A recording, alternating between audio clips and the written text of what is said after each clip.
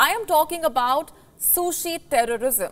And as the name suggests, Japan's signature cuisine is at the center of this movement. Customers at these restaurants have started a gruesome trend on social media. They have been posting video clips of themselves interfering with food and playing pranks on the other customers. One such clip of a culinary crime has garnered almost 40 million views on Twitter. In the video, a teenager is seen licking the open top of a communal soy sauce bottle. He also licked the entire rim of a teacup and then placed it back on a shelf. As if that wasn't bad enough, the teenager then licked his finger and touched two pieces of sushi with it.